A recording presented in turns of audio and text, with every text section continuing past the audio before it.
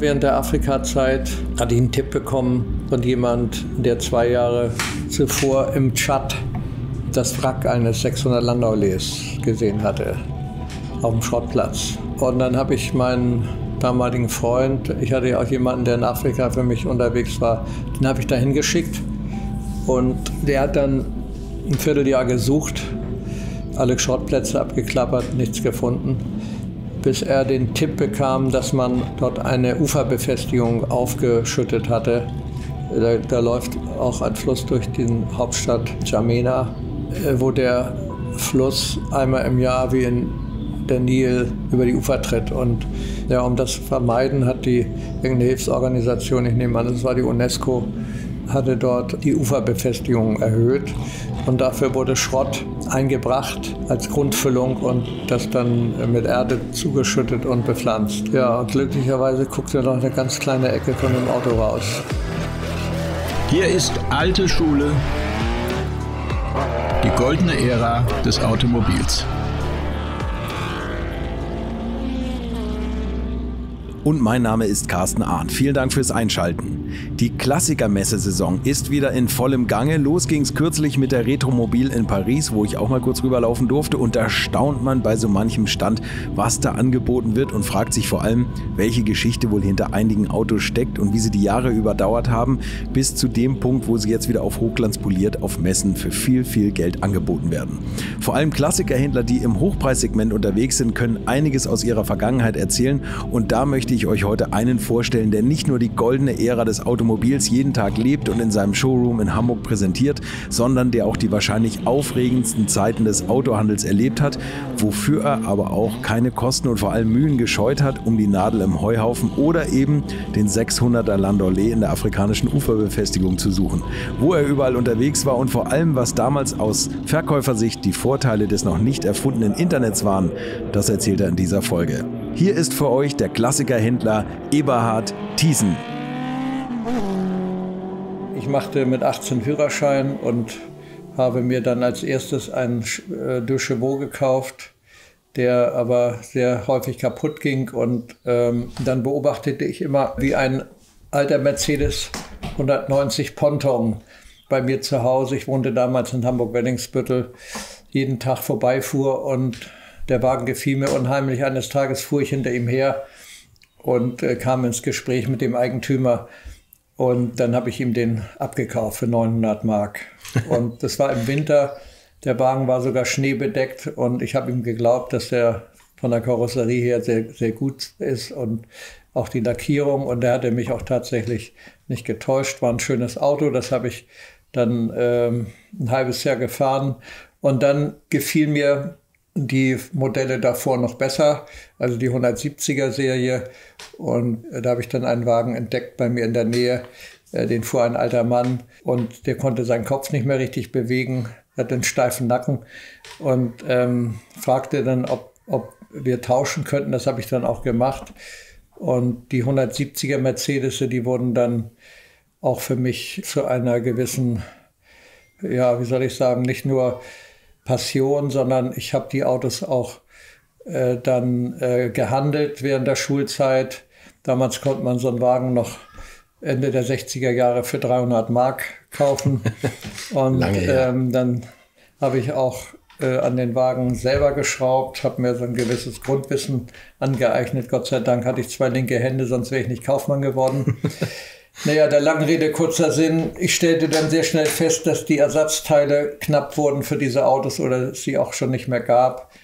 Und äh, kam dann auf die Idee durch einen Mann, den ich mal an einer Tankstelle traf und der mich auf mein Auto ansprach und sich als ein Ersatzteilhändler äh, für diese äh, Fahrzeugtypen ausgab und sagte, wenn Sie mal etwas benötigen, kommen Sie gern zu mir, ich verkaufe Ihnen die Teile. Und wie sich herausstellte, hatte der in Deutschland die Mercedes-Vertretung aufgesucht und diese ungängigen Ersatzteile für die frühen Modelle der 50er Jahre, die, sage ich mal, die Liebhaber händeringend brauchten, hatte er aufgekauft zum Schrottpreis und dann an äh, Liebhaber verkauft. Man musste sich ja damals bevorraten, um auch die ähm, Fahrtüchtigkeit des Autos im Hinblick auf die Zukunft sicherzustellen. Naja, und dann kam ich auf die Idee, weil ich schon angefangen hatte, mit Antiquitäten zu handeln in England. Ich fuhr immer mit einem alten Lastwagen rüber und wollte äh, dann Antiquitäten doch mal in England zu fragen, ob es äh, dort auch solche Teile gäbe. Und mittlerweile gesellte sich noch ein anderer Mercedes-Fahrer hinzu. Und wir haben dann, sind dann eine Partnerschaft eingegangen und haben dann gemeinsam die englischen Mercedes-Vertretungen aufgesucht und sind da dann auf einen Riesenfund gestoßen im Osten Englands. Da war eine Mercedes-Vertretung, die hatten 20 Jahre lang von der Hauptniederlassung in London äh, den alten Bestand aufgekauft. Okay. Und diesen Bestand hatten sie in Lagerhallen gelagert und hatten nie einen Teil verkauft. Und mir war gar nicht klar, was da für eine Philosophie dahinter stand. Aber der hatte auch Hallen mit alten Möbeln und diese Möbel waren nicht mal äh, besonders wertvoll. Das waren ausrangierte Büromöbel und sowas. Also dieser Inhaber der Mercedes-Vertretung, der hatte den Hang dazu, irgendwelche Dinge zu sammeln, von denen er glaubte, dass sie irgendwann mal wertvoll werden würden. Bei den Mercedes-Teilen war das ja auch durchaus der Fall. Nur wir haben ihm die dann nach und nach abgekauft und von dem Geld was wir einnahmen, sind wir dann immer gleich wieder losgefahren, haben das neu investiert und so haben wir dann nach einer Zeit ein, gewisse, ein gewisses Geld gehabt, Grundkapital, um auch größere Posten zu kaufen. Naja, und nachdem Europa abgegrast war, sind wir dann nach Übersee gegangen. Da hatten wir uns dann aber auch schon getrennt. Ich habe dann den afrikanischen Kontinent bearbeitet bin in den ehemaligen Kolonien gewesen. Wann war das? In welchem Jahr ungefähr? Äh, das muss gewesen sein äh, in der ersten Hälfte der 80er Jahre. Okay. Und da kam ich dann auf, auf die Idee, weil mir auch immer mehr Autos angeboten wurden. Ich habe dann äh, von den Regierungen äh, in den afrikanischen Ländern habe ich dann den alten Fuhrpark gekauft und habe den entweder ausgetauscht gegen einen neuen oder habe eben den, den nur abgekauft. Und das waren im Wesentlichen diese alten 600er Modelle. Hm. Also diese langen, der W100. Ne? Ähm, ja, der ja. W100. Ja. Naja, und diese Autos, die hatten eine Achillesferse, nämlich, dass sie äh, eine Hydraulik hatten, die jetzt nicht nur die Federung betraf, äh, wie bei anderen Autos, sondern das war eine sogenannte Komforthydraulik, die ähm, alle elektrischen Funktionen ersetzten und damit wollte Mercedes damals eine möglichst geräuschlose äh, Bedienung der Fensterheber, der Belüftung und Klimaanlage und aber auch ähm, ja eigentlich alle Kofferraum, ne? Ging auch Kofferraum damit, auch. Ja. Das hatte Bosch konstruiert. Die war sehr störanfällig. Da waren Gummidichtungen drin, die über die Jahre porös wurden. Und dann fing die an zu lecken und der Druck ging dann verloren. Da war ein sehr hoher Druck drauf. Naja, also diese afrikanischen Regierungen, die wurden mit dem Service dieser Autos nicht fertig und ähm, das kam mir natürlich zugute.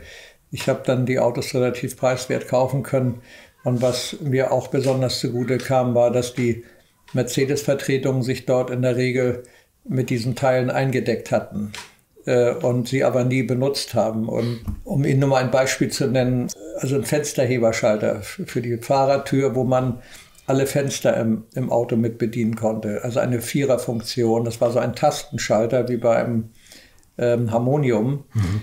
Den konnten sie in eine Zigarettenschachtel reinstecken. Der kostete damals 16.000 Mark. Was? Ja. Und ähm, also die ganze Hydraulik, äh, alle Ventile und Zylinder und Verteiler und so, die lagen damals schon in Mitte der 80er Jahre bei 150.000 Mark ungefähr. Okay. Ja. Naja, und ähm, aus diesem Autotausch wurde dann im Grunde genommen auch das Autogeschäft. Also ich fing mit Mercedes an, weil ich die Autos aus äh, inwendig kannte. Natürlich kannte jedes Ersatzteil für die 50er, 60er Jahre Mercedes. Die musste ich ja oft auch makroskopisch bestimmen können. Wenn der Ersatzteilaufkleber nicht mehr da war, in mhm. Afrika waren das die Ratten, die, die immer gern fraßen. naja, und so habe ich bin ich in über 20 Ländern gewesen und habe dort äh, sowohl diese Teile gekauft, als auch versucht, äh, von den Regierungen ihre 600er Mercedes äh, zu bekommen. War das für die, war das eigentlich ein Posten, oder? So ein Gebrauchtwagen? Irgendwie. Ja, das war eigentlich für beide Seiten gut. Die konnten die Autos nicht mehr warten, da waren einfach hm. keine Fachleute. Hm. Das hatte man nicht bedacht, als man sie kaufte. Und die waren froh, dass sie, die, dass sie dann noch irgendwie etwas Geld für bekamen, die Mercedes-Vertretung für die Teile, die schon seit Jahrzehnten praktisch unverkauft im Regal lagen. Und dann weitete sich das langsam aus auf andere Marken.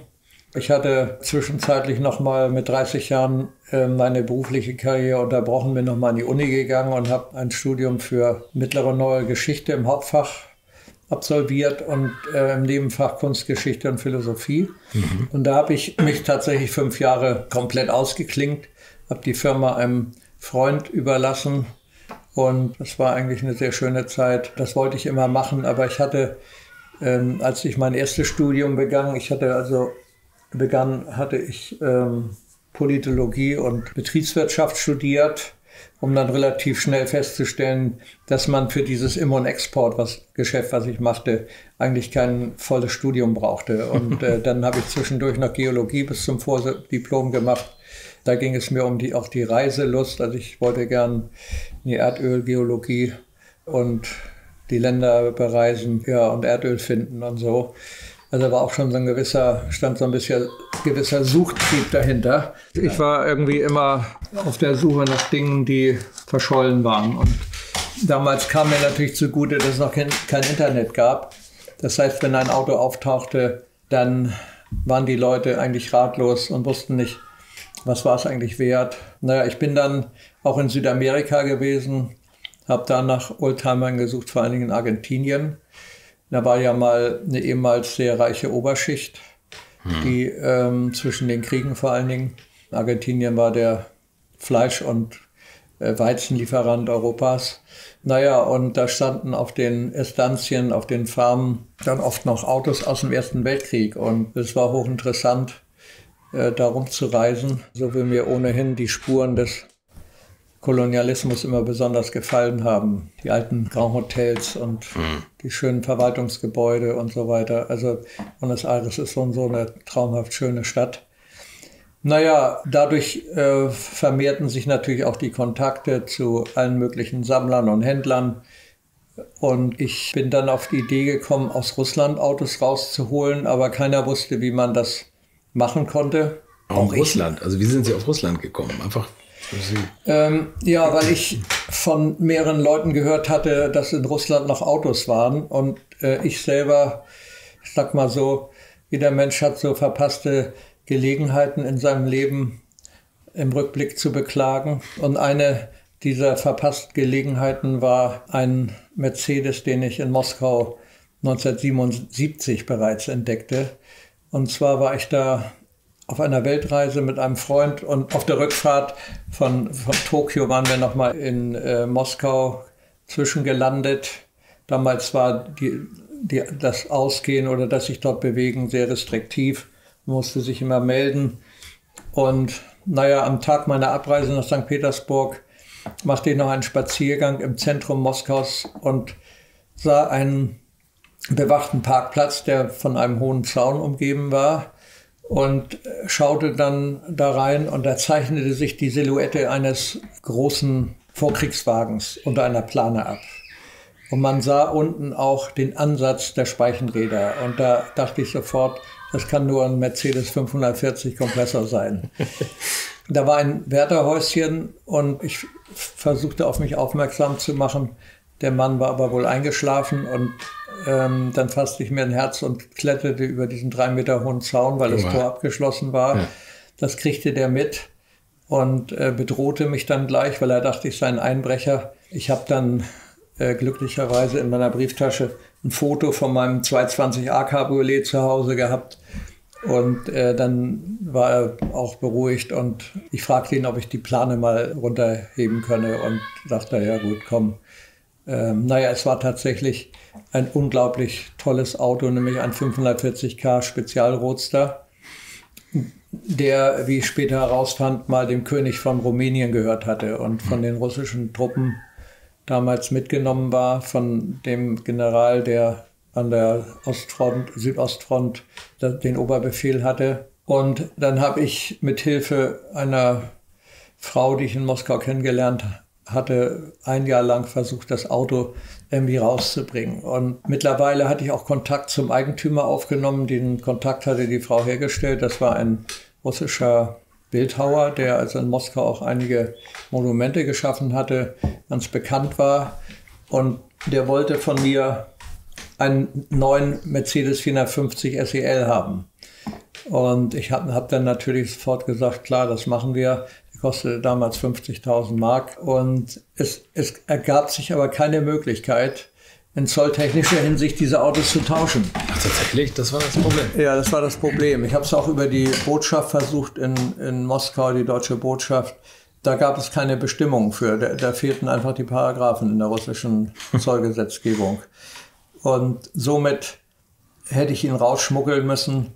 Äh, das war mir aber zu heiß und ich musste dann schweren Herzens davon ablassen.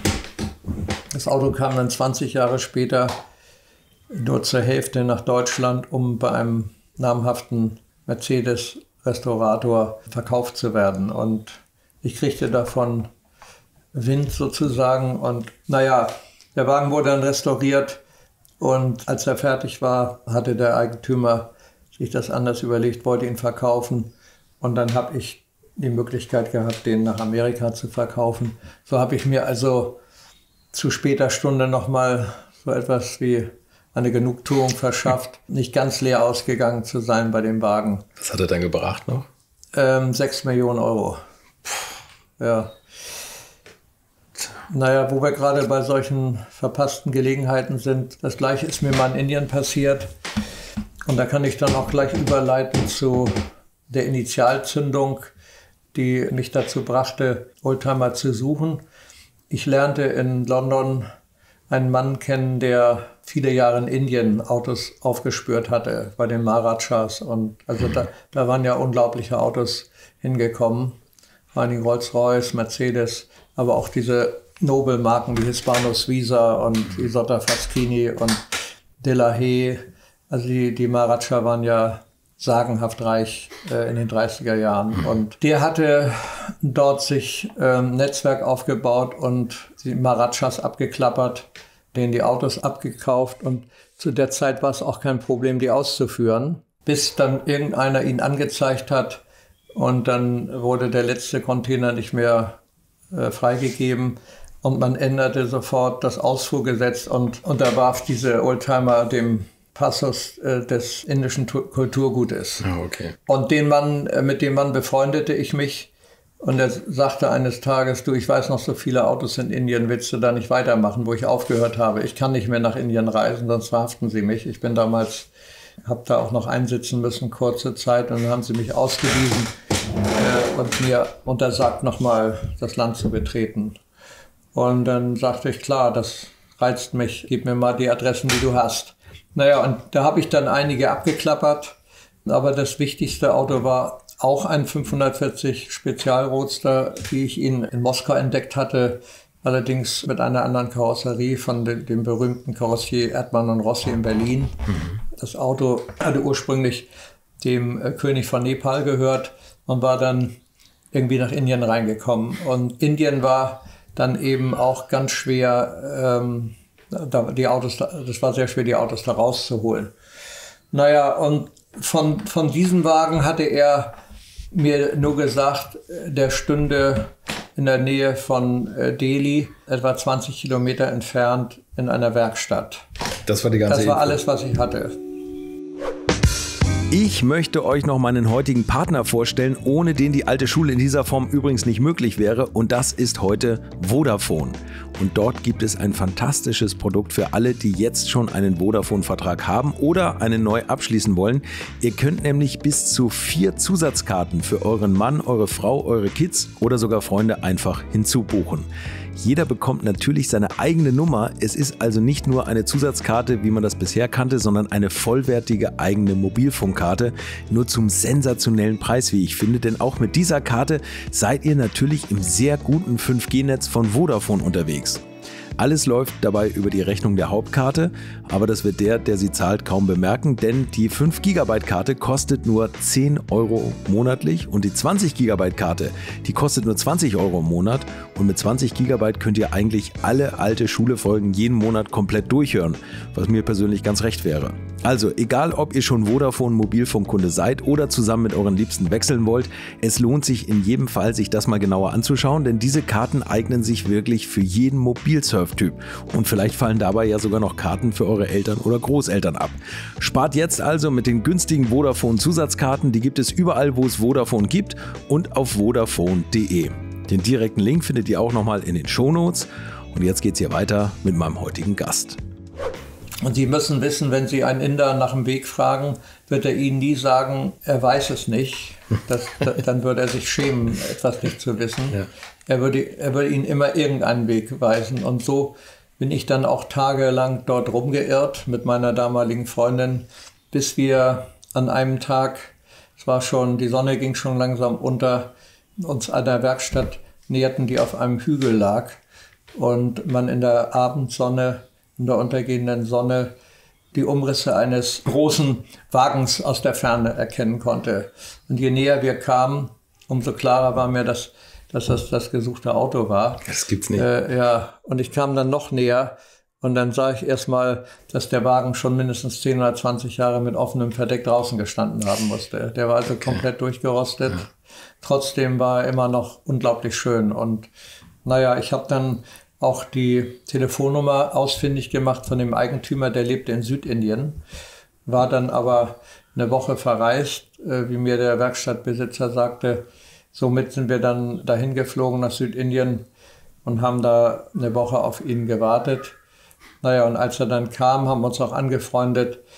Aber es war einfach nicht möglich, für keinen Preis dieses Auto ihm abzukaufen. Der wusste den Wert oder der wollte. Na, der ahnte ihn schon. Nicht? Und ich habe ich hab ihm sehr viel Geld geboten. Also da hätte er für den Rest seines Lebens in Indien wie ein Maharaja leben können. Was wäre das so? Zwei Millionen, drei Millionen? Naja, es waren 500.000 Mark damals, aber das war ein ja. ungliches Geld. Also viel, ne? Da, die, die Leute verdienten da 10 Mark im Monat. Na, ich hätte da eben auch sofort Abnehmer für gehabt. Das Geld hatte ich selber jetzt auch nicht, aber den Wagen hätte ich dann sonst notfalls auch finanziert. Hm. Aber das war dann eben sozusagen die zweite verpasste Gelegenheit. Haben Sie da damals, also das war in den 80ern? Ja, das war in den 80ern. In den 80ern. Das ist ja immer ein Bankspiel, ob man, wenn man zu viel bietet, dann werden die ja eh misstrauisch, die Leute. Und dann sagen sie, aha, also wenn der schon so viel freiwillig bietet, dann ist der Wagen das zehnfache wert.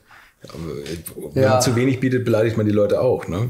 Kriegt man da über die Jahre so ein Gefühl für oder haben Sie, gab es da so Also am besten lässt man den anderen erstmal kommen, natürlich, um ja. mal rauszufinden, was ihm der Wagen bedeutet und ob er auch informiert ist über die mhm. Werte. Ne? Dieser Mann war jetzt durchaus informiert, weil er Verwandtschaft in der Schweiz hatte, die er oft so. besuchte. Okay. Also sehr westwärts orientiert war aber ich habe natürlich auch dann später in Russland ganz viele Autos kaufen können, wo die Leute dachten, das ist gar nichts wert. Also ich sag mal, bevor das Internet dann, wie gesagt, installiert wurde. Haben Sie das schnell realisiert, dass das Internet ein bisschen eigentlich Ihr Geschäft kaputt machen kann? Ja, also das habe ich relativ schnell gesehen. Gut, in den ersten zwei, drei Jahren war es noch nicht so hm. äh, verbreitet, dass man diese Angst haben musste. Und da war es vielleicht auch noch nicht so abzusehen. Aber relativ schnell etablierte sich ja auch ein Markt im Internet, auch abgebildet durch die Auktionshäuser, die zum Teil Online-Auktionen machten, aber auch ihre Ergebnisse veröffentlichten. Ja, für den Verkauf hat das natürlich viel gebracht. Also wir haben früher sehr viel über die Printmedien verkauft und heute würde ich sagen, gehen 80 Prozent über das Internet weg. Und man wird weltweit gefunden. Ne? Und man wird, genau, man wird weltweit gefunden. Wann, wann war ungefähr so die, der Scheideweg, wo Sie gesagt haben, oh, jetzt sind die Leute doch informiert über das Internet, was Preise anbelangt? Ich würde sagen, so drei Jahre nach, nachdem das Internet entdeckt wurde. Also so 2000, Jahrtausendewende? Ja, so oh, ungefähr. Mhm. Hm, okay. Ja, da habe ich auch eigentlich aufgehört mit na gut, ich, ich war noch in, in ein paar Ländern gewesen, aber das ebbte so aus bis 2005 ungefähr. Da hat man dann überlegt, man fährt nicht mehr los, weil weil man da auch nicht mehr jetzt die Dornröschen schlafenden Autos hätte aufspüren können. Ne? Jetzt gibt es eigentlich nur noch Nordkorea, ne? die auch kein Internet haben. Ja, ja, natürlich gibt es immer noch Länder, äh, wo man eine ganz schlechte Anbindung hat an, an, die, an äh, die Welt und wo die Leute auch nicht reingucken, auch gar nicht wissen, wo sie gucken müssten. Aber das sind dann eben so abgeschottete Länder wie wahrscheinlich der Jemen oder Nordkorea. Und, äh, ja. Ja, äh, und dann kam Russland äh, an die Reihe. Ja. In Russland bin ich sechs Jahre unterwegs gewesen, natürlich immer nur alle drei Monate rüber geflogen. Ich hatte da durch Zufall jemanden hier in Hamburg kennengelernt, einen Russen, der aus Russland Motorräder rausholte. Mhm.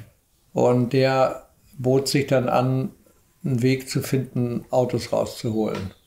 Aber zunächst hatte ich mit einem Polen zu tun, einem Arzt in Warschau, der mir erklärte, dass er einen Weg hätte, Autos rauszuholen. Der wollte das Geschäft aber selber machen.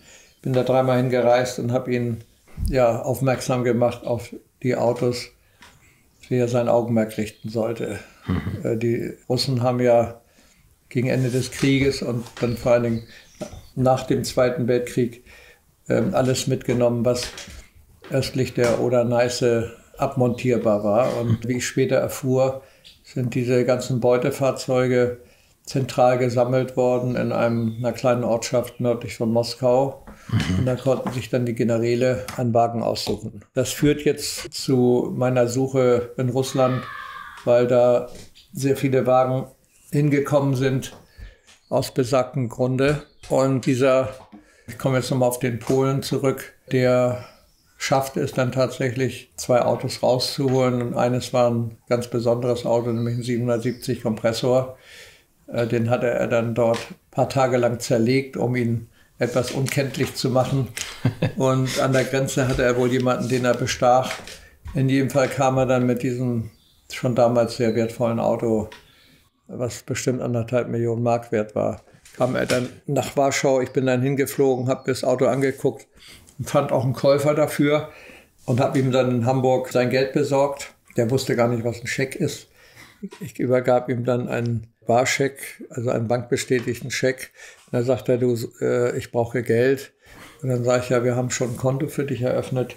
Da gehen wir jetzt hin zu der Bank und dann äh, legst du den Scheck vor und dann hast du gleich diese eine Million Guthaben da drauf. Das war für den Mann natürlich ein Wahnsinnsgeld. Der verdiente nur 40 Mark im Monat als Arzt in einem Krankenhaus in Warschau. Aber dann lernte ich eben diesen Russen kennen und der baute für mich ein Netz auf von Leuten, die, die, die nach Autos suchten. Und gleichzeitig fand er auch jemanden, der an der Grenze uns behilflich sein konnte. Wir haben viele Autos auch mit einem Antrag beim russischen Kulturministerium rausgebracht. Eigentlich die meisten wurden ganz offiziell rausgebracht, aber manche Sachen eben auch nicht. Ist das dann nur die Gefahr an der Grenze direkt oder muss man auch danach noch irgendwie fürchten, dass da jemand kommt und sich das Auto zurückholen will? Nein, also die Gefahr war in erster Linie die Mafia, die, wenn sie rauskriegte, dass jemand so, so ein Auto rauszubringen gedachte, sofort bei dem waren und nochmal den gleichen Preis, den es gekostet hatte, für sich beanspruchten. Also wenn, wenn die das spitz kriegten, musste man das mit ins Kalkül ziehen, dass, dass dann nochmal das gleiche Geld bezahlt werden musste. Wenn man ihn schon gekauft hatte, stand man vor der Entscheidung, entweder ihn abzunehmen, also ihn mitzunehmen, aber dann eben dafür äh. Äh, nochmal den gleichen Preis zu zahlen oder ihn dazulassen. Und, aber kein Geld mehr zurückzubekommen. Ne? Ja. ja, ja, natürlich. Ja, entweder oder sonst wäre der Wagen verloren gewesen. Aber ich sag mal, die Einkaufspreise waren sehr moderat. Manchmal konnte man es sich auch leisten, das Doppelte zu bezahlen. Da gab es tatsächlich so Mafia-Begegnungen und, und, wie stellt man sich das vor, wie im Film? Ja, ich habe zum Beispiel mal an, da traten ja dann auch Sammler an mich heran, die Militärgerät sammelten, also hm. Panzer äh, und alles Mögliche, Halbkettenfahrzeuge, aber auch ähm, andere Militärfahrzeuge. Und die hatten Museen in England, in Amerika, und fuhren auch mit den Panzern. Und ähm, total durchgeknallte Typen. Und gleichermaßen gab es auch Leute, die alte Flugzeuge sammelten. Und da lagen also damals im Raum Murmansk noch sehr viele Flugzeuge in der Walachei, Flugzeugwracks, die abgeschossen waren oder notgelandet waren. Und davon habe ich dann auch einige geborgen bekommen und in Westen verkauft. Also Sie fragten mich eben nach der Geldübergabe. Nach der Mafia, genau. Also es gab welche, die wollten nichts überwiesen haben, sondern die wollten Bargeld haben. Und ich hatte damals einen Freund in Moskau, der eine Firma hatte. Und dem habe ich dann das Geld geschickt. Und der hat das dann in US-Dollar konvertiert. Ich habe dem dann dafür eine Pauschale bezahlt. Und dann bekam ich äh, zwei Bodyguards und bin mit dem Geld dann zur Übergabestelle gegangen. Da standen dann auch schon die Tieflader. Dann wurde das Geld vorgezählt und verladen. Und naja, in der Zeit konnte man für 100 Mark noch jemanden bitten, einen anderen umzubringen, wenn man es gewollt hätte. Ich wollte gerade sagen, ja. Und wenn man mit so viel Geld rumlief, war man natürlich äh, extrem gefährdet. Mhm. Also ich bin da zum Teil schon in sehr unliebsamen Situationen gewesen. In der totalen Walachei, wo eben, sage ich mal, ein altes Flugzeug oder ein Panzer in den Sümpfen lag. Naja, und dann hatte man manchmal das Geld dabei. Und wenn die bösartig gewesen wären, hätten sie einen da verscharrt. Und da hätte nie wieder einer was von einem gehört. Ne? Aber was glauben Sie, was hat Sie da geschützt? Also das Wissen, dass Sie auch wiederkommen würden und dass man damit weiterhin gute Geschäfte machen kann? Ja, ich glaube, das war das eine. Das andere war auch meine Menschenkenntnis. Also sicherlich waren die auch an Folgegeschäfte interessiert. Und ich hatte mittlerweile auch in der Branche einen recht großen Bekanntheitsgrad. Also es wäre schon aufgefallen, wenn ich von der Reise nicht zurückgekommen wäre. Und im Nachhinein äh, bin ich sicherlich oft ziemlich leichtsinnig gewesen und habe einen Schutzengel gehabt. Es gab so eine Situation, wo Sie gemerkt haben, wie jetzt wird's. Ja, haarig. mir war schon in manchen Situationen mulmig und dann habe ich auch gebeten, dass man wieder in die Stadt zurückfährt. Viele der ehemaligen russischen Soldaten hatten dann auch sich Waffen mitgenommen hm. aus ihrem Soldatendienst und fast jeder ist in Russland bewaffnet. Äh, die haben alle ihre Pistole zu Hause liegen. Und ähm, naja, also ich hab, bin aber eigentlich immer mit den Beschaffern sehr gut ausgekommen. Ich habe auch pünktlich bezahlt und manchmal auch vergeblich bezahlt, weil dann der Container auf einmal verschwand. Aber unterm Strich war es eine durchaus lohnende Geschichte gewesen und ich bin halt quer durch die Sowjetunion gereist in die entlegensten Winkel. Man, man hätte es gar nicht für möglich gehalten, wo zum Teil diese Autos hin verschlagen wurden. Ne? Mhm. Und das waren hauptsächlich äh, tatsächlich Autos aus dem Vorkrieg, diese ja. Beuteautos. Ja, ja, na klar. Haben, ja. Das waren Autos aus den 20er, 30er mhm. Jahren. Ich habe sehr viele Horch gefunden, ähm, aber auch Maybach und Mercedes. Sie fahren selber einen Horch, ne? Ja, ich habe mhm. selber einen 853. Mhm. Ist auch ein interessantes Auto, das habe ich mal 1900 76 bei einem Bauern gefunden. Der hatte den auf der Tenne, wo er auch, äh, wo seine Familie auch aß. Ein großer Tisch, der hatte, glaube ich, acht Kinder oder so und daneben stand der Wagen. Und irgendwann brauchte der mal Geld und dann habe ich alles zusammengekratzt, was ich hatte und mir noch was geliehen, habe ihm den abgekauft. habe ihn selber restauriert. Und dann brauchte ich aber fünf Jahre später Geld in der Firma und musste ihn verkaufen. Und dann ging er über London später nach Amerika, war da in mehreren Händen. Und vor 15 Jahren ist er wohl nach Österreich verkauft worden. Und dann habe ich diesen Kunden, der verstarb dann der Kunde und äh, der, ähm, ja, der, der Sohn hat ihn mir dann eingetauscht. So ist der praktisch nach über 20 Jahren wieder zu mir zurückgekommen. Ne? Und ja, der bleibt auch. Äh, jetzt bleibt er. Jetzt bleibt er, ja. Den fahre ich unheimlich gerne. Tolles Auto, aber das ja. ist ja irre, wie groß der ist. Ne?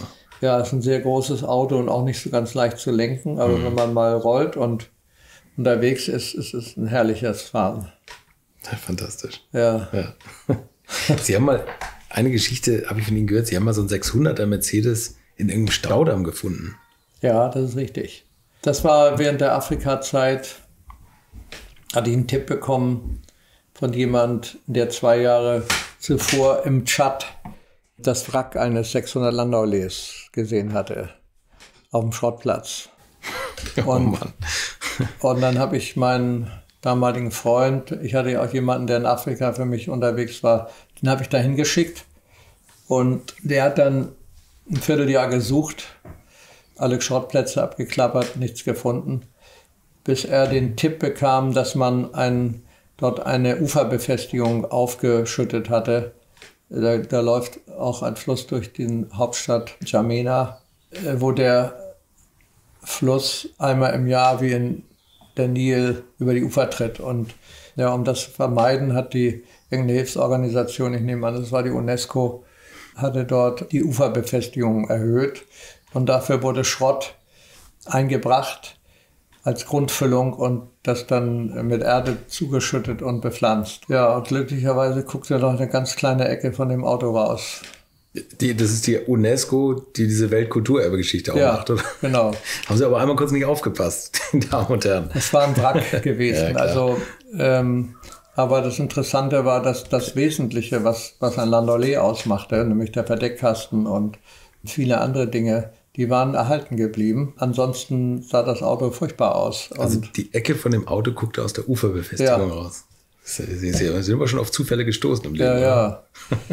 Und den haben wir dann ausgegraben. Dann hatte da jemand, der, der den äh, Damm bewachte, der hatte dann uns befohlen, ihn wieder einzugraben. Und dann haben, haben wir uns sozusagen nach oben durchgeschmiert bis zum, zu dem Minister, der, der dann sein, der, der Entscheider war. Die haben natürlich auch gedacht, das sind Verrückte oder das muss Gold sein. Also Sie haben, Sie haben den ausgegraben, ohne zu fragen vorher. Ja, Okay. Und, und mein äh, Freund ist dann auf einem offenen Truck, hat er den dann nach Kamerun gebracht, durch Nigeria durch. Und da haben wir uns getroffen und haben ihn verladen nach Deutschland. Und haben Sie noch, also sich durchgeschmiert? Wie muss man sich das vorstellen? Äh, Gab es da Leute, die dann gesagt haben, das ist Gold wert? Äh, Naja, wenn man jetzt einen aus der unteren Charge besticht, der vorgibt, er sei derjenige, der die Genehmigung ausstellen kann, und ohne, dass man dem was persönlich gibt, gi- läuft in Afrika nichts.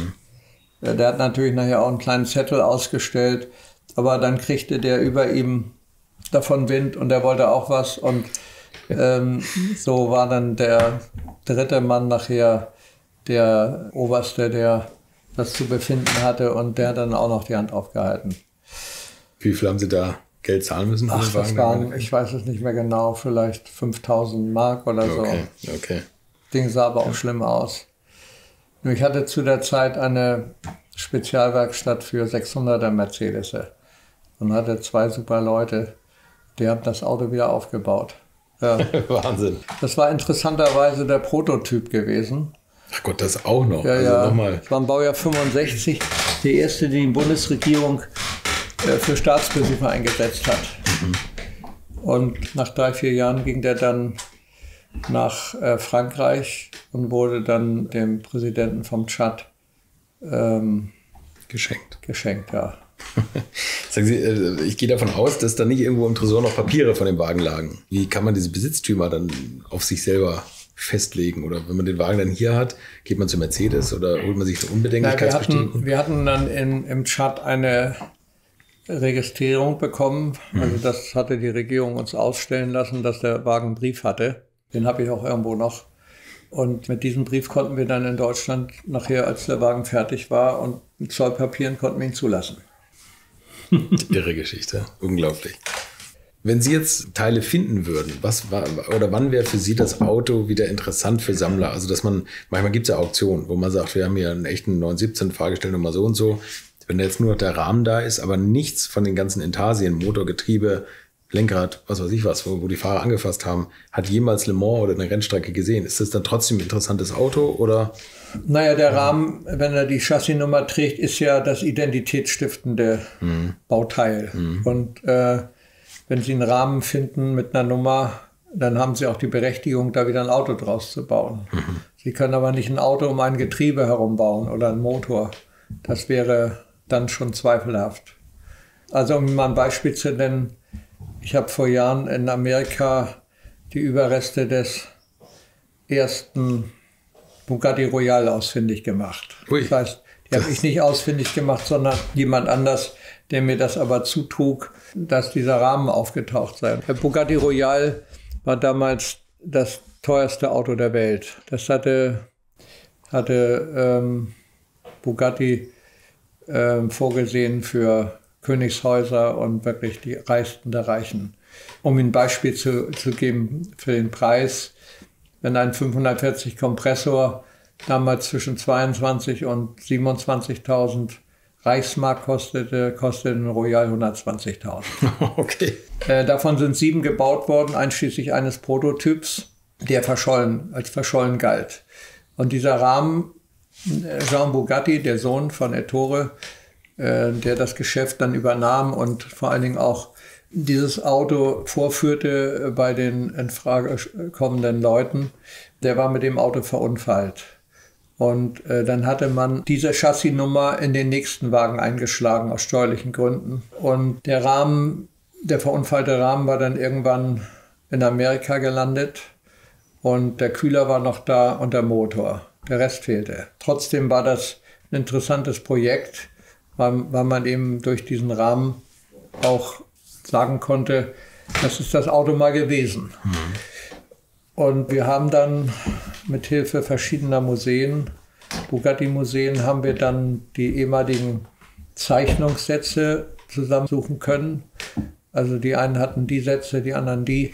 Und so haben wir praktisch dann eine neue Hinterachse gebaut, ein neues Getriebe. Eine Lenkung fand sich dann irgendwo in England an und es tauchte auch die verunfallte Vorderachse in Neuseeland auf. Das gibt's nicht. Ja, und so haben wir dann das Auto nach und nach komplettiert und wir wussten, dass da eine Packard-Karosserie drauf war.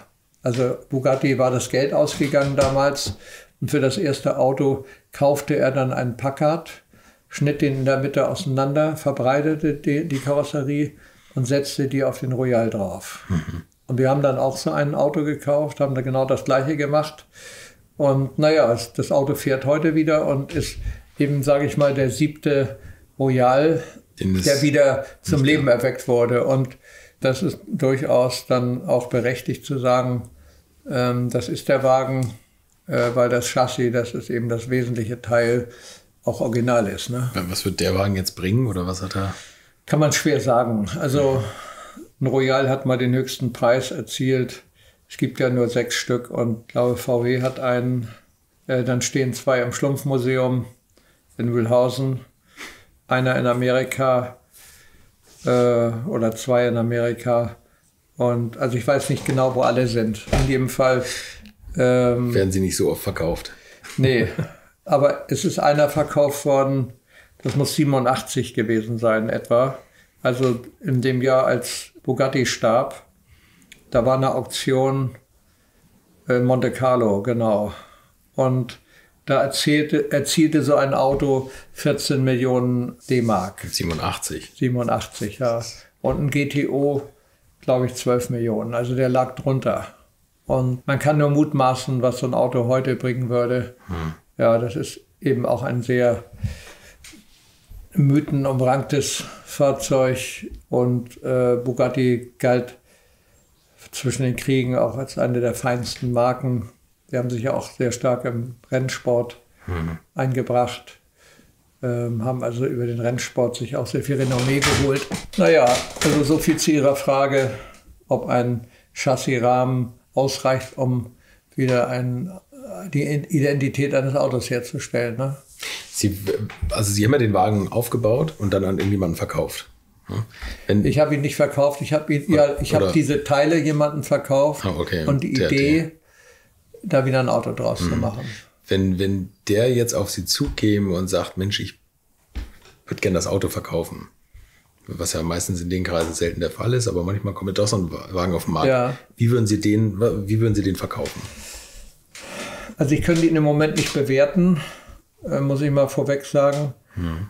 Aber ich würde ihn natürlich nicht inserieren, sondern ich würde ihn ausgesuchten Sammlern anbieten, die Fahrzeuge äh, in ihrem privaten Fuhrpark oder auch Museum haben, die oder einer Stiftung, die dieses Karat, diese Gerätigkeit haben. Und da gibt es nicht so viele auf der Welt. Das denke ich. Ja. Wie, wie viele kennen Sie davon? Naja, namentlich kenne ich fast alle, würde ich sagen, aber persönlich zu tun hatte ich vielleicht mit der Hälfte von denen. Das ist 10, 20? Ja, ich würde sagen, ähm, es sind vielleicht 10, 12 wirklich ganz große Leute. Die meisten sitzen in Amerika. Gibt es da Bekannte, über die man reden kann? Also ich sag mal, Ralf Lauren halte ich jetzt für einen. Ralf Lauren ist so einer oder Arturo Keller, der sicherlich die bedeutendste Sammlung der Welt hat. Der lebt zum Teil in Mexiko und zum Teil in Kalifornien. Das Museum ist in Kalifornien. Und die Sammlung hat einen Wert von, sagen Sie es? Weit über eine Milliarde, würde ich sagen. Ich wollte gerade sagen, es sind nicht mehr Millionen. Ne? Ja, ja. Wie, wie kommt man zu so viel? Wie viele Autos stehen da? Vielleicht 300. Eine Milliarde. Hm. Ja, es ist, ist äh, eine, so eine Sammlung könnte man heute nicht mehr zusammenstellen, weil der hat schon in den 60er Jahren angefangen hm. äh, zu kaufen und ja, ja. Womit hat er sein Geld verdient? Der baut für alle Autos, die europäischen Autos, die in Südamerika in Lizenz hergestellt werden, die Innenausstattung. Okay. Mhm. Also Sie würden aber, um darauf nochmal zurückzukommen, Sie würden die Autos anbieten und dann die Sammler kommen lassen und sagen, ich habe zwei Interessenten, wer mehr bietet, kriegt den. Oder würden Sie es auf gar keinen Fall groß in eine Auktion geben, so ein Auto? Ähm, nein, okay. ich würde nicht in eine Auktion geben. Warum nicht? Ist das, glauben Sie, dass so ein Auto da eher verramscht wird? Oder?